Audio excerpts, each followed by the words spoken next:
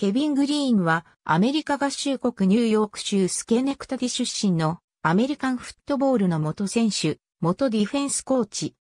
ディフェンシブエンドラインバッカーとして NFL のロサンゼルスラムズやピッツバーグスティーラーズ等の4チームで15年間プレーした。通算サック数160.0は1999年の引退時歴代3位。1990年代オールディケードチームに選出され、2016年にプロフットボール殿堂入りした。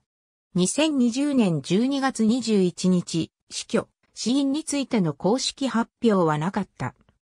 当時存在していたアメリカンフットボールリーグの USFL のチームからドラフト指名された後、1985年の NFL ドラフトで5巡目全体113番目でロサンゼルスラムズから指名され NFL 入りした。プロ入りから3年間はラムズのニッケルディフェンスのレフトディフェンシブエンドとしてプレーし、1986年と1987年にはチーム2位となるサックを決めた。1988年、当時のディフェンシブコーディネーターであるフリッツ・シュルマー、考案の5ラインバッカーディフェンスでアウトサイドラインバッカーに転向した。このシーズン終盤、同地区のライバル 49ers 戦で、ジョー・モンタナに4.5サックを決める活躍をし、ラムズのプレーオフ進出に貢献した。シーズン全体では、レジー・ホワイトに次ぐ、リーグ2位の16.5サックを決めた。1989年、2年連続となる16.5サックを決め、プロボールとオールプロ第1チームに初選出された。このシーズン中、ラムズとの契約を3年間延長することで合意した。1990年、13サックを決めた。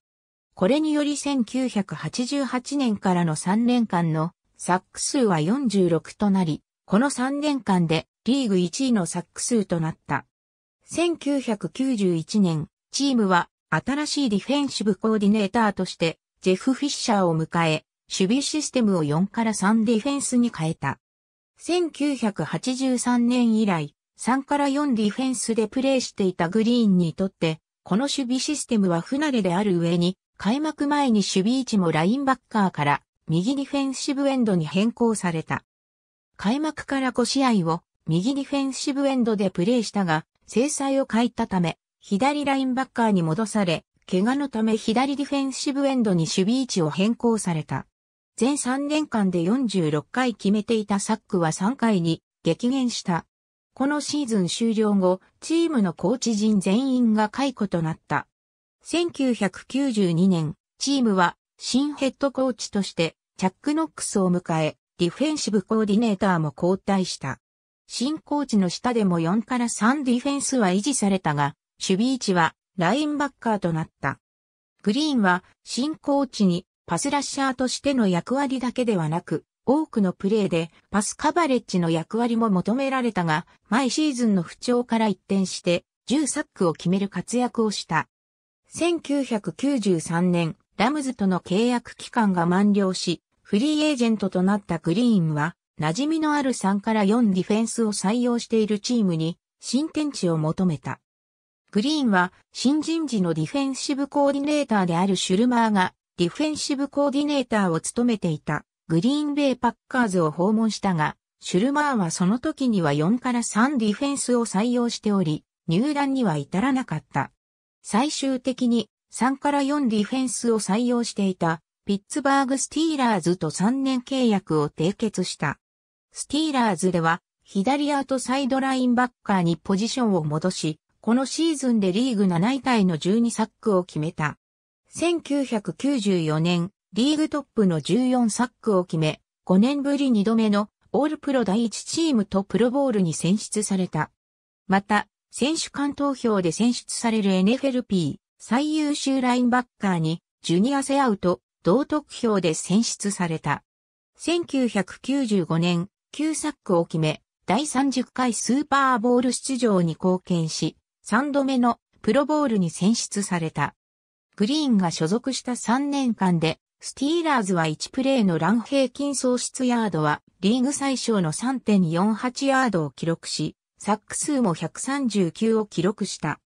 スティーラーズでの3年間により、グリーンは1990年代中盤のスティーラーズの協力守備の中心人物として、歴代有数のラインバッカーの地位を確立した。1996年、グリーンは創設2年目のカロライナ・パンサーズと契約を締結し、NFL 記録となる5試合連続複数サックを含むリーグトップの14.5サックを記録し、チームの NFC チャンピオンシップ進出に貢献した。グリーンは2度目のオールプロ第1チームと4度目のプロボールに選出された。シーズン終了後、チームとの交渉が決裂し、放出された。1997年、パンサーズから放出されたグリーンは、サンフランシスコ 49ers と契約した。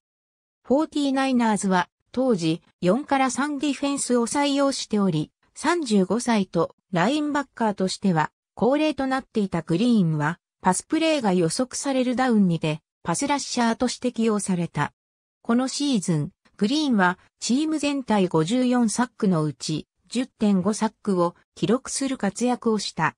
1998年、49ers との契約について、不服を申し立てるオールドアウトを行った後、グリーンはパンサーズに復帰する契約を締結した。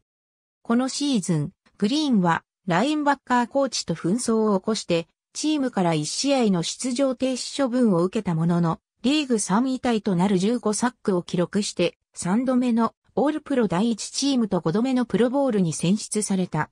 1999年、このシーズンもパンサーズでプレーした。チームは4から3ディフェンスに守備システムを変更したが、グリーンは4から3ディフェンスのアウトサイドラインバッカーとして1シーズンを通してプレーし、12サックを記録した。シーズン終了後、37歳になっていたグリーンは引退を表明した。ありがとうございます。